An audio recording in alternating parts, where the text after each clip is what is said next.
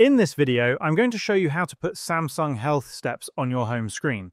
First, unlock your phone and press and hold your finger on an empty space on your home screen. After that, a menu will appear at the bottom of your screen. From these options, tap on Widgets. Next, type Samsung Health into the search bar at the top of the screen. Once you see Samsung Health in the search results, tap on it. This will open a selection of available widgets related to Samsung Health. Swipe right to see these widgets. Since you want to add steps, swipe until you find the Steps widget. Once you've located it, tap on Add to Desktop. The widget will appear on your home screen. You can customize the size of the widget by pressing and holding it. When the resize handles appear, drag the corners to adjust the size to your preference. After setting it up, you'll have quick access to your step count directly from your home screen. This makes it easier to keep track of your daily activity without opening the app.